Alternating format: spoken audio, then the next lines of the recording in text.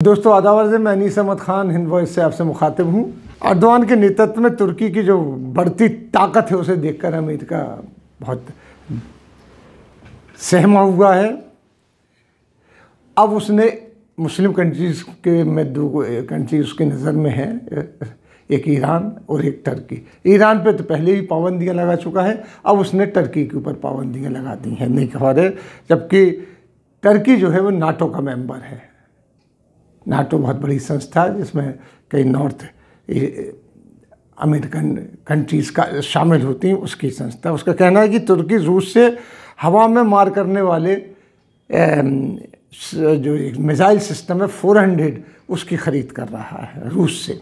इसलिए उसने लगा दी है। उसने भारत के भी मना किया था कि वो मिज़ाइल सिस्टम ना लें 400 भारत मान गया था। भारत तो उनकी हर चीज़ मान जाता है अमेरिकन की साहब की, और ये भी लगाई थी उसने कि आप ईरान से तेल बंद कर दीजिए और सऊदी अरब से खरीदिए। वो भी भारत मानने लगा तो तेल के दाम इसीलिए बढ़ गए हैं। ईरान बार्टर में तेल देता था कि तेल पहले देता था, पैसे नहीं लेता था। उसके बदले आपका सामान लेता तो हमारी एक्सपोर्ट भी बढ़ती थी। और अब पैसे एडवांस जाते हैं और इसके साथ ही तेल भी हमें अरब भेजना पड़ता है, जिससे बड़ा नुकसान हो रहा है, क्योंकि रिफाइनरी उस तरीके से डिज़ाइन नहीं है। सदियों से जो ट्रे, हमारा तेल आता था, वो ईरान से ही आता था। अब इन्होंने टर्की के ऊपर लगा दिया। लेकिन टर्की ने जो जवाब दिया, इससे पहले कि टर्की अमेरिका के मना करने के बावजूद भी F thirty five fighter jet America से खरीद ही चुका है। पहले पहले भी वो अमेरिका एतराज़ जता था ट्रंप एडमिनिस्ट्रेशन है ना वहाँ पे अभी।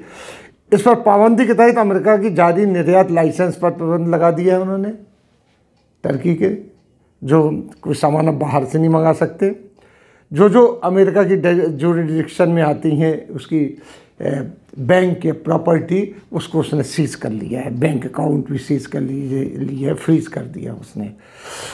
यह, ये बात देखने की है कि ये इससे पहले अमेरिका ने तुर्की का अपना जो पेट्रियोट मिसाइल वो उसने बेचने से इनकार कर दिया था। अमेरिकी ने, इन्होंने पेट्रियोट मिसाइल उनसे मांगे, उन्होंने इनकार कर दिया। तो उसने वो 400 जो मिसाइल्स हैं बहुत एडवांस मिसाइल हैं, वो लेने के लिए उसने कहा और ख़रीदने शुरू कर दिए जबकि तुर्की का दुश्मन देश ग्रीस, जो कि नाटो का सदस्य है, उसने उसके पास रूस का 300 मिसाइल सिस्टम है। ये अमेरिका की एक अजीब सी पॉलिसी है। वहाँ जो ग्रीस को तो वो इजाज़त देता है, लेकिन टर्की चूँकि इस्लामिक कंट्री है, उसको नहीं देता। हालाँकि टर्की यूनान कहलाता है, यूनान पर भी मुसलमानों का कब्जा लगा रहा है, लेकिन टर्की जो है टर्की के जो अर्दवान के नेतृत्व में खासा इस्लामिक लीनियंसी रखता है अपने, और इस्लाम के लिए झुकाव रखता है। वहीं अमेरिका पर पाबंदियों पर अर्दवान ने कहा कि टर्की इन पाबंदियों के से अमेरिका के से बदला लेकर रहेगा।